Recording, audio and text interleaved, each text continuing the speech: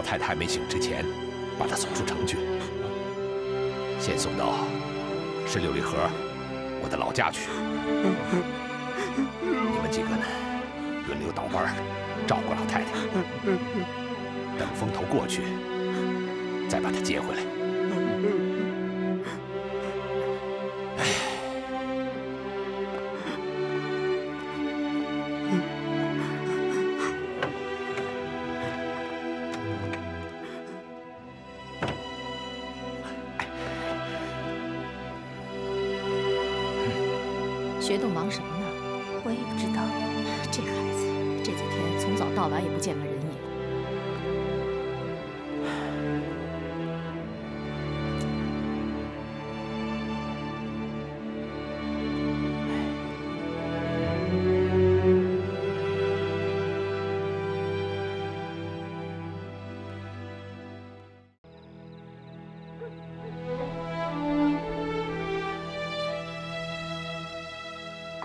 现在是一个马上就要加入组织的人了，怎么能怎么能这么随便呢？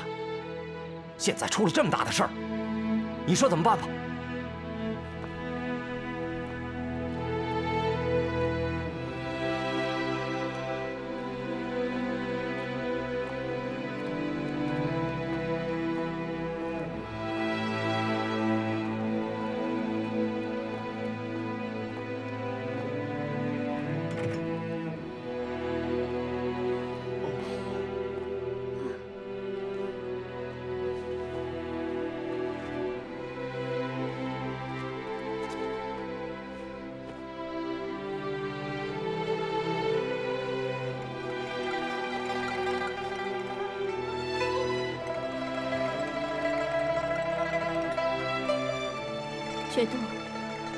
天晚上都到哪儿去了？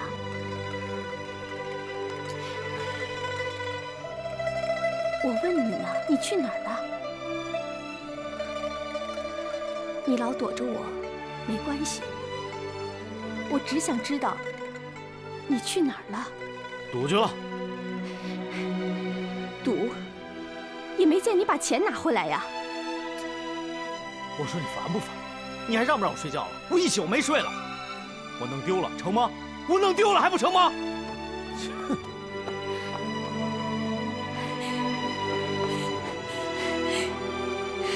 英子，英子，你就别生气了啊！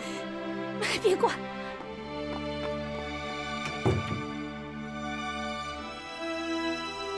怎么就那么不了解雪冬？雪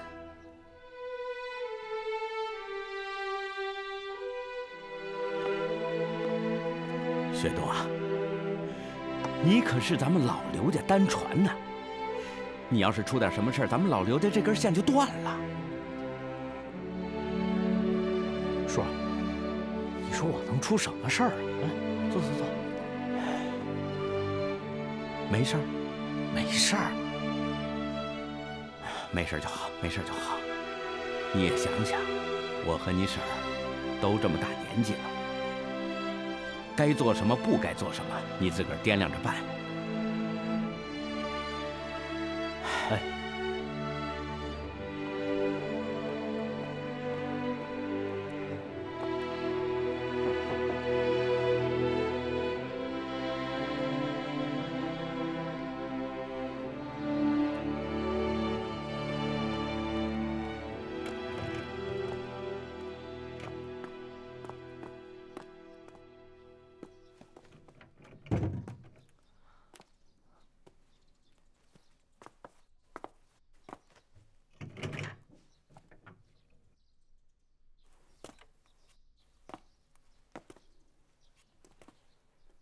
早上你们俩吵架，这事儿不能怪英子。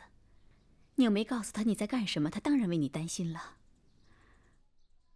你的事儿，我不想劝你，我知道也劝不动你。不过，你以后一定要小心，这样我们大家才会放心呢。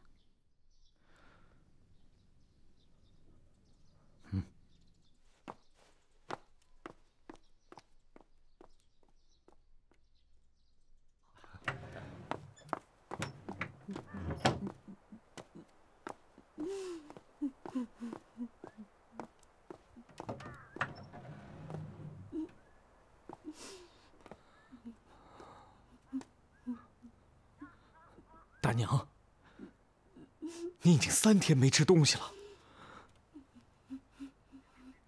多少吃一点吧。您不吃饿坏身子。大娘，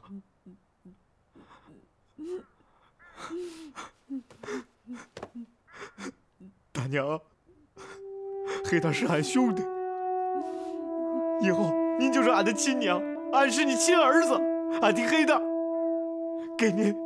养老送终。你看，我就在这儿。哎，掌柜的哦，我来介绍一下，呃，这是刘掌柜，这是我老乡，给我哥送药的。哦啊，来来来，快让座。哎，别别别，您别忙了。呃，他今天晚上不回去了，在我这住一宿。哦，呃，成成，别说住一宿，想住几宿住几宿。谢谢刘掌柜的。啊啊，请请，哎哎，照顾好，听见没有？哎哎哎，谢谢了，走吧。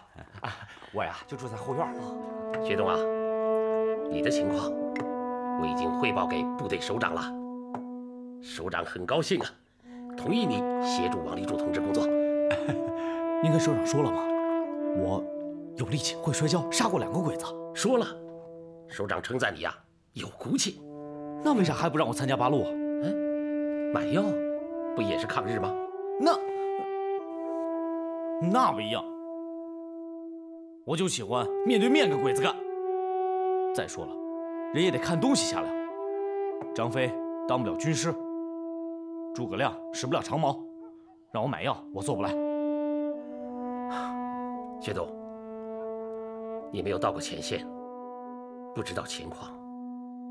每一次打完仗之后，咱部队。会死伤很多人呢，不该死的死了，为什么？没有药啊！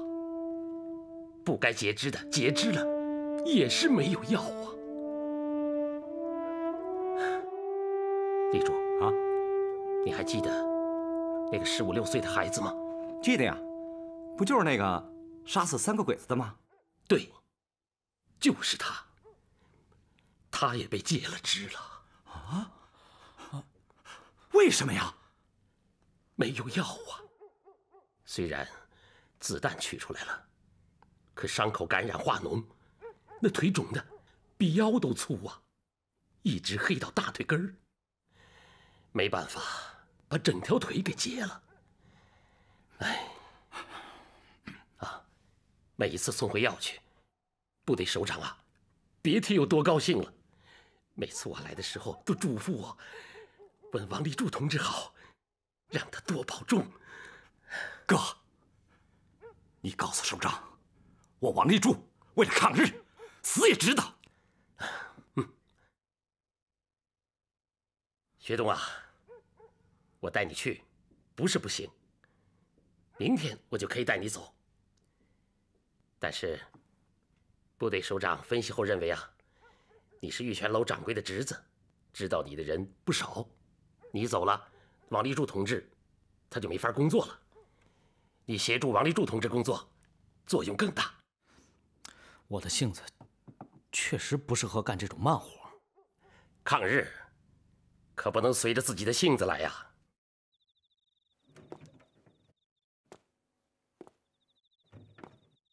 这么晚了，怎么还不睡呀？婶儿，你不要生我的气啊！看你说的，你要真能出出气，倒好了。这气憋在肚子里啊，对孩子不好。嗯，婶儿，你说雪栋不是因为烦我才变坏的吧？你太不了解他了。学栋是那种人吗？可是他每天晚上都不回来。英子，我不知道他去做了什么，但是我相信他是个好人。你就放心吧，啊。老王，哎，嗯，明天啊，你去买些药，川贝药最好的，咱们部队用的药材一定要买最好的，知道吗？嗯，过两天啊，我再想办法弄钱。啊，哎，你叔知道吗？不知道，反正没说。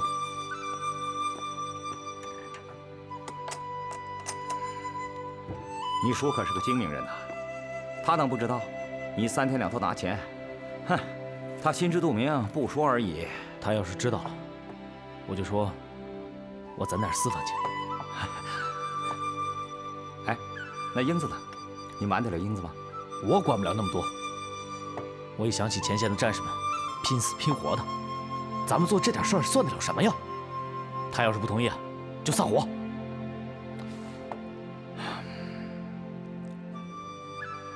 英子可是个好姑娘。自打你把她领进来，她就认定你了。你不信？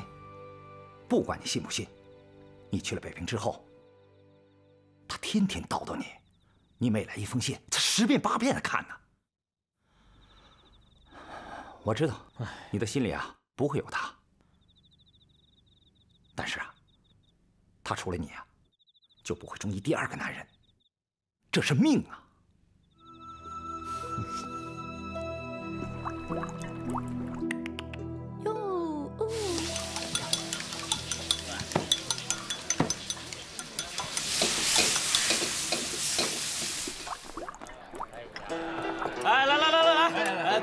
来端起来来啊！来来来来来，都来都来，干杯啊！好好啊，来，干干干！妈，哎，您啊，抱着您的亲孙子，开心不？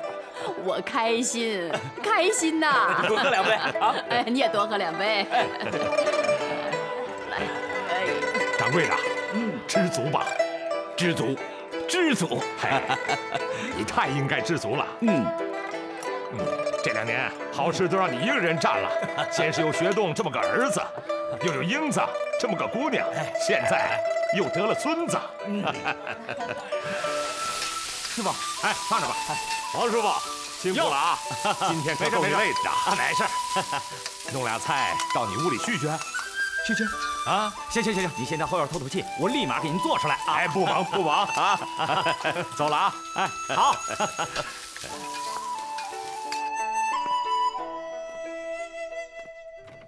他三婶儿，啊，嫂子，你也出去喝两盅，和大伙热闹热闹。啊，我这两天肠胃不好，我就不过去了。今天是亮亮满月，这个是我的一点心意。哎呦，真好看！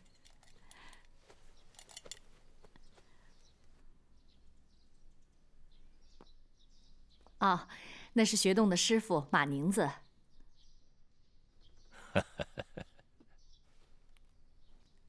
那你要是不去，我就先走了。啊。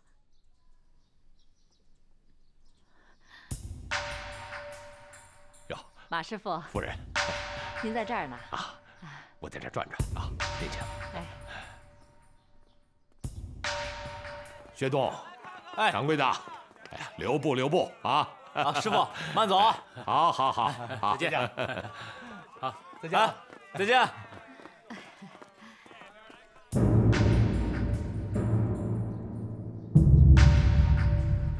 雪栋的师傅。你胡说八道！我没胡说，当年就是他在青岛摔死了你爹。啊？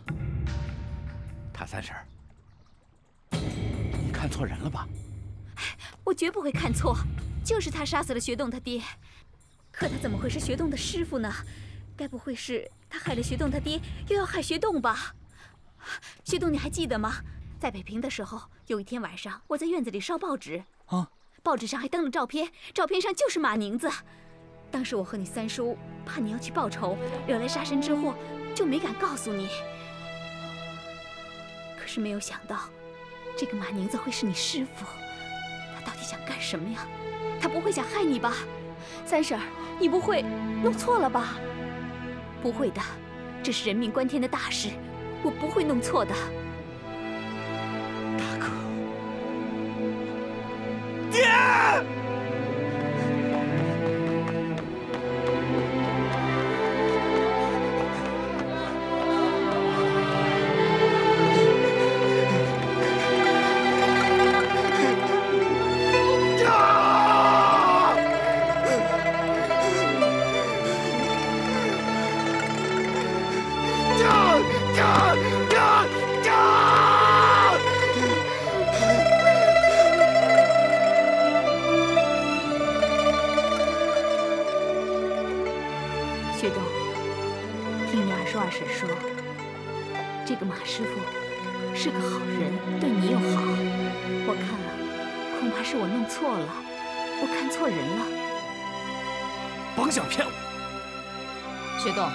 三婶说话呢，那是我爹，不是他爹。行了行了，还是商量商量怎么办吧。还能怎么办？欠债还钱，杀人偿命。哎，话是这么说，在交场上把人摔死，官府都不管。那好啊，就让学栋去摔死马宁子。冤冤相报何时了啊？那可是我公公。学栋，你不说你天下无敌吗？你要是天下无敌，你就去跟马宁子摔一场。如果你摔死了他，就是替父报仇；如果你被他摔死了，我就替你收尸。胡说八道！英子说什么呢？他杀了我男人的父亲，我死也咽不下这口气。雪洞，你别忘了，你要报仇的人是对你亲如父亲的师傅。二婶说，马师傅对你就像亲生儿子一样。你三婶说的对呀，都别说了。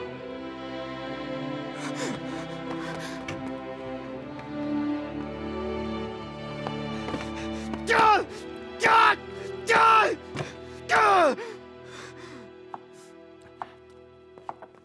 哎，英子，学栋怎么了？跟疯子似的。他知道他杀父仇人了。什么？什么？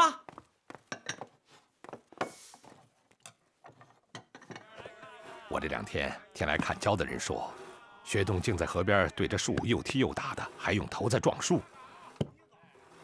八成是遇到了什么窝心的事儿。你们俩抽时间去劝劝他。哎哎，薛栋，你还记得六年前咱们刚开始跟马师傅学摔跤那会儿？黑蛋，咱们四个一起在山下走矮步吗？当然记得。你小子害怕学栋拿第一，偷着给学栋下了泻药，害得学栋啊差点没拉死。过后师傅听说了，师傅可把我摔得半天没爬起来啊！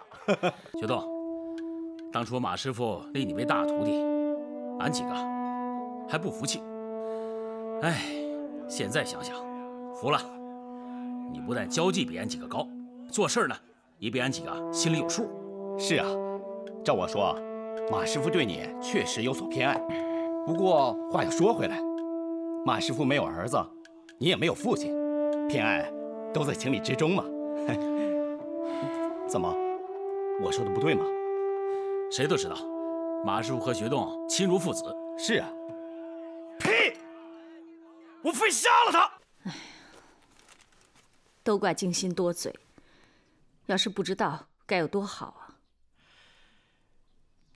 他不是也怕薛栋遭人暗算吗？再说他也不知道马宁子的为人。马宁子是个好人，再是个好人，薛栋他爸也是死在他手里。好了，啊，不是了，跟着我干嘛？滚！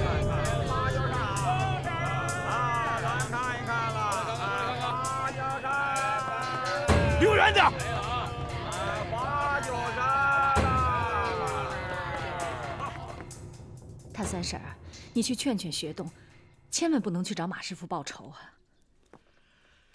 学栋现在是进退两难呐。哎一边是亲生父亲，一边是亲如父子的师傅。按道理说呢，学栋不会去找马宁子。可他万一脑袋一热，去找马宁子报仇呢？那就完了。马宁子李再屈，可学栋找上门要摔死人家，人家还不还手啊？哎，他们俩可都是交场的高手啊。要真较量起来，哪一招都能要对方的命。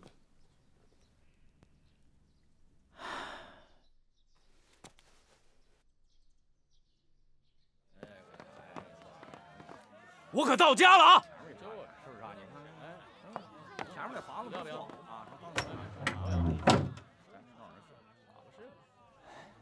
走吧。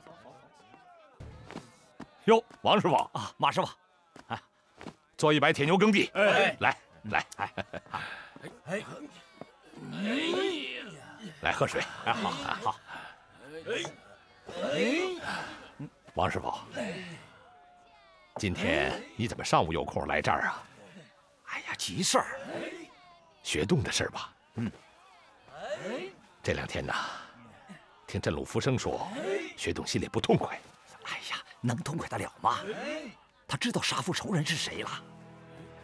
听说啊，他父亲是在青岛死的。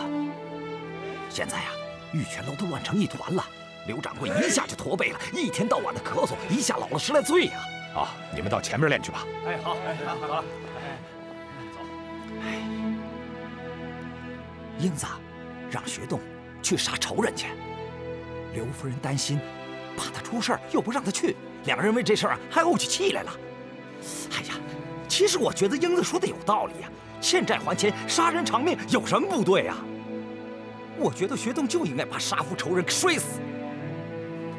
哎，你说也怪了。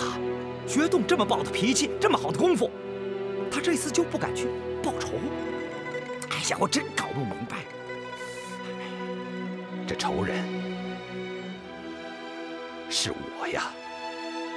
你说什么？我就是学栋的杀父仇人，十五年了。呃，说说，说说，说说。好老少爷们儿，咱在场上玩的是真功夫，那不是花架子。我马宁子敢称，就凭咱这功夫，摔遍天下无敌手。好，好，好。我马宁子在青岛不出场子，说明我本分，不想砸人家饭碗。可我马宁子敢自称，我就是交王，天下无敌。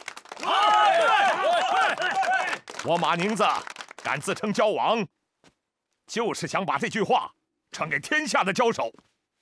有不服气的，到青岛找我马宁子。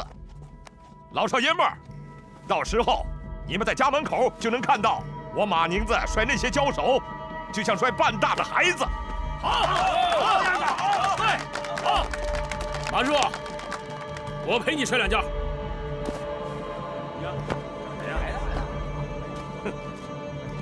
哪来的？小地方来的。小地方来的人还敢跟教王摔？就是。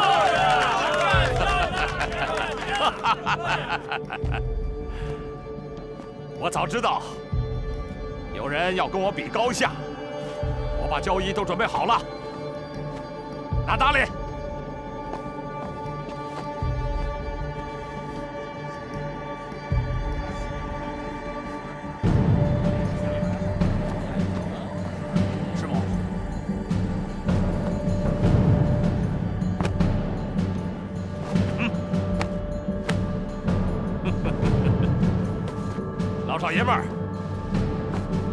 说了，要让大家在家门口享受，这不就来了个踢场子的，正好。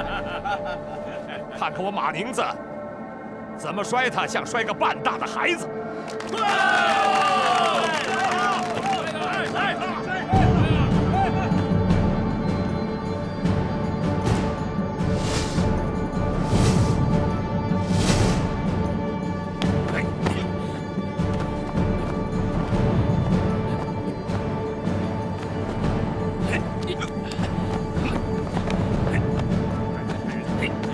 看个漂亮的！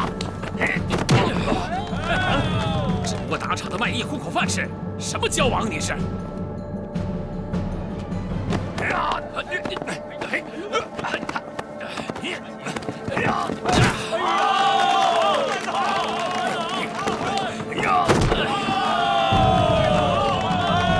说谁交际不如你呀、有本事，外头青石板摔去！你不怕伤筋动骨？老子摔死都不怕！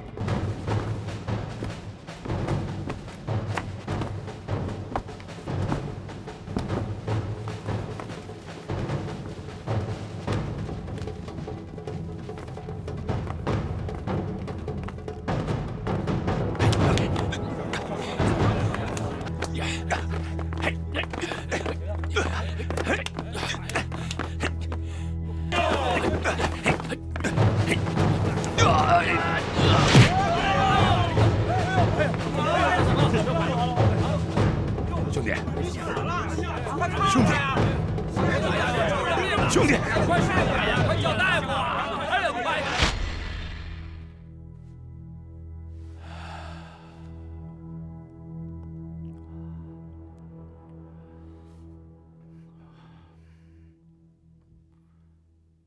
我早就想过，那兄弟的后人肯定会来找我报仇，可是，唉，可是我怎么也没想到，竟然是学栋。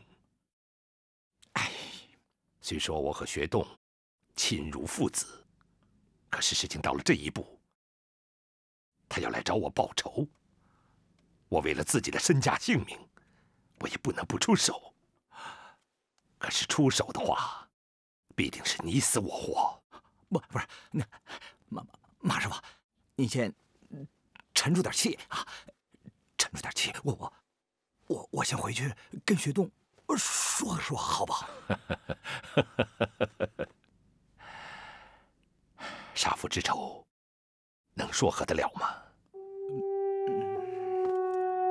王师傅，我怕仇人找我报仇，我藏了一招。哦，你回去告诉学栋，他要是个明白人，就别来找我报仇，否则必死无疑。学栋啊，你三婶把报纸上的事都跟我说了。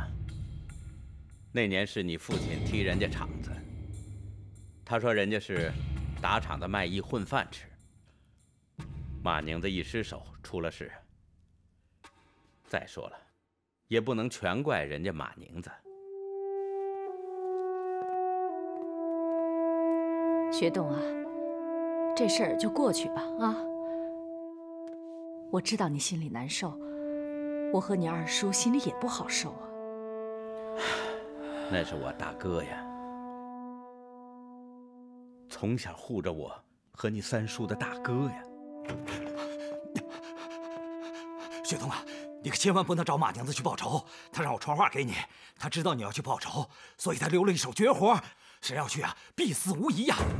不是，学栋，你听我说，马娘子是为了你好，她知道你要去报仇，才让我来劝你的。学栋，你听我说，马师傅说的对，你俩关系再好，他也不会情愿被你摔死，他是怕你被摔死，明白吗？是他让我来劝你的。你还，哎，学栋。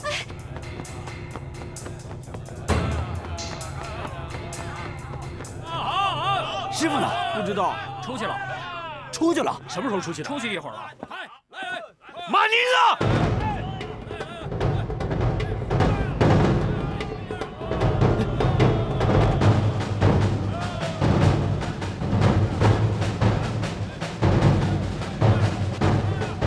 滚开！马宁子呢？不知道。滚！我问你，马宁子呢？出去了。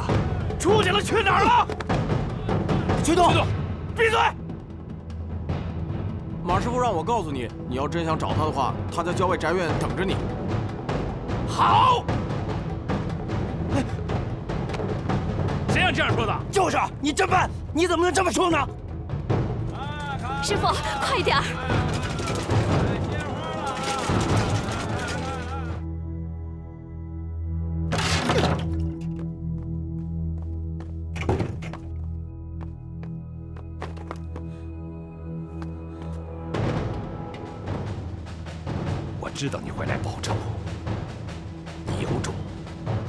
是我马宁子的徒弟。可是我告诉你，师傅我留了一手。你来替你父亲报仇，无疑是来送死。你真想送死的话，就把他拿去。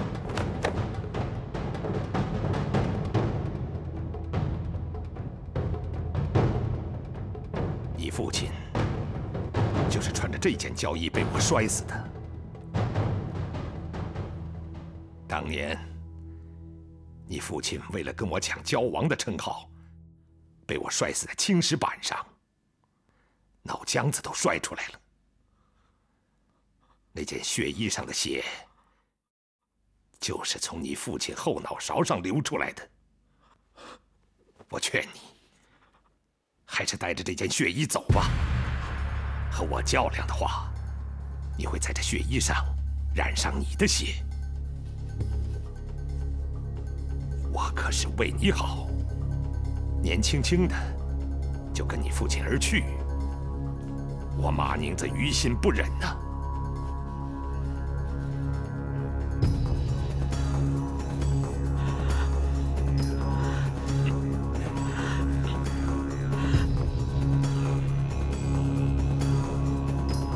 十五年前，我就是穿着这件胶衣，把你父亲摔死的。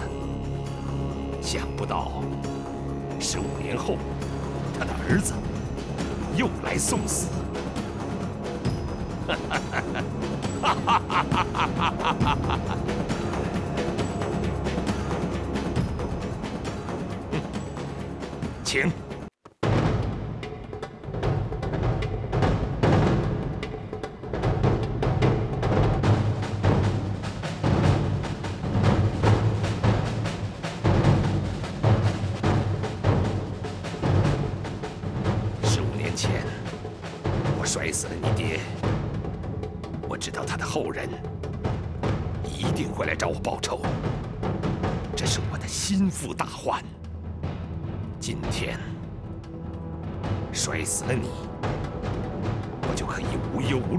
日子了。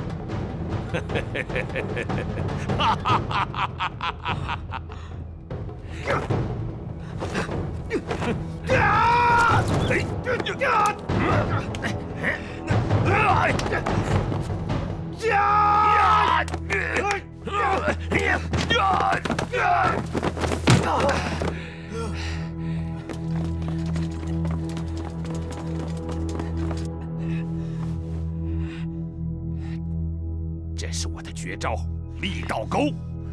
当年你的父亲就是被我用这个脚板摔死的。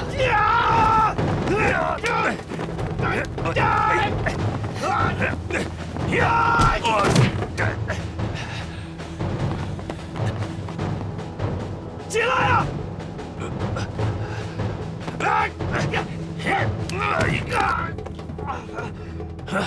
你是黑招！呀！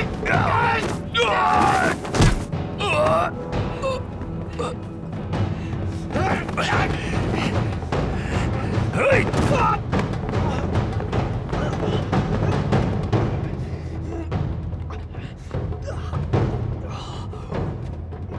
嘿嘿，跟我玩，你还嫩了点儿。你也下得了毒手！你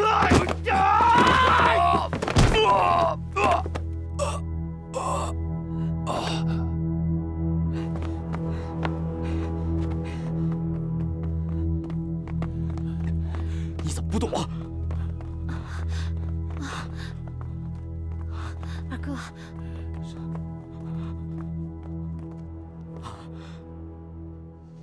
你是故意激我？为什么？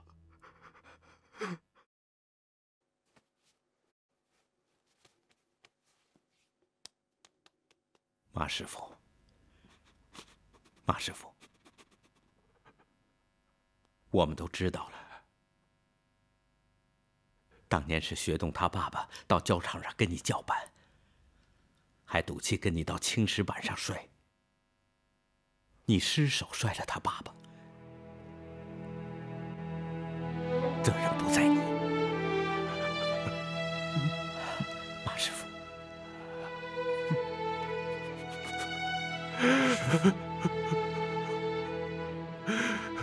那时候你们都年轻气盛，才落下这么个结果。师傅，今天咱们两个交手，我看出来，你是故意激我，想让我杀了你，这样才能了却两家的恩怨，对吧？你使了那几个暗招，没有一个能让我致残或毙命，你只使了三分力，你完全可以杀了。为什么不杀我？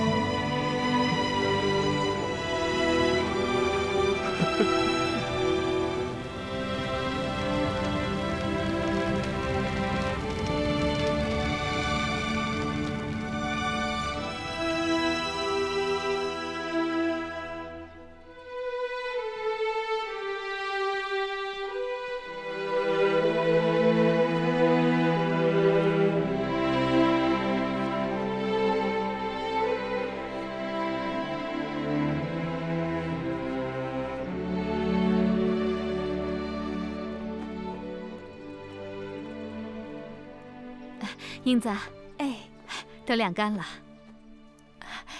亮亮叫叫什么呢？叫姨奶奶、姑奶奶都行。哦，别怪了，进去吧。哎，英子，莲花，人家都说这儿子啊像母亲，我看啊这亮亮跟学栋长得一模一样。英子，你等于伺候两个雪洞啊？看你说的。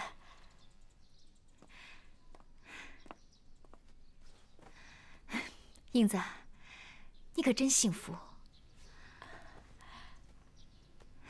这么好的人，单单就让你给碰上了。莲花姐，你有什么打算？我这样的人能有什么打算啊？过一天算一天吧。你也别悲观，一切都会好起来的。可是学东这样的人，能有几个呀？说实话，我真是走投无路了。这几年你没有遇上喜欢的人吗？这几年，谁都知道我被于明德包了，根本没有接触过其他男人。如今时过中午，想寻个好出路，可是却找不到好主了。你还打算这样过吗？不了，我打算嫁人了。嫁给谁呀？于明德。你不要嫁给这个混蛋，人面兽心，你怎么能嫁给他呢？你是赌气呢，还是说着玩的？赌什么气啊！我说的是事实。我知道于明德不是个好人，可是我是个女人啊。我不在乎其他的，只要他喜欢我，这就够了。况且，再过几年，我人老色衰，怕是连他都看不上我了。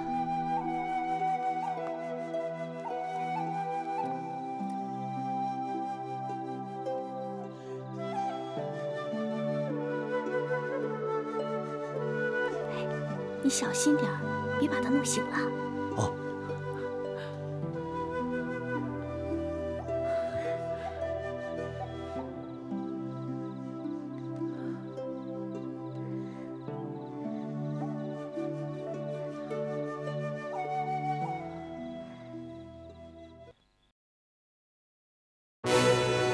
一群男子汉，痴迷弄胶拳，独率别名，出招打山涧。夏练三伏暑，冬练九寒天，千年守国粹，今朝保家园。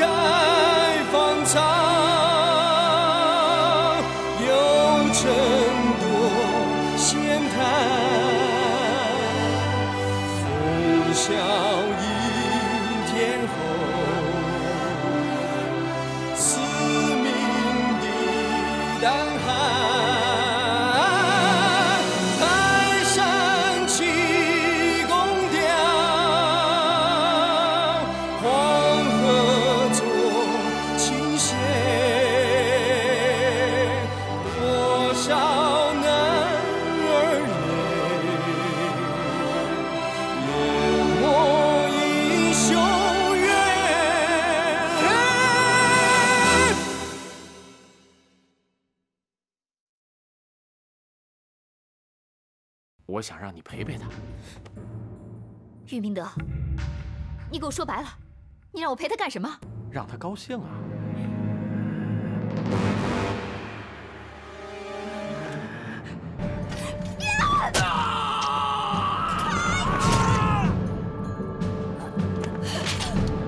俺打算也开个教场，在哪儿？北平。要不我让镇鲁福生陪你一块儿去？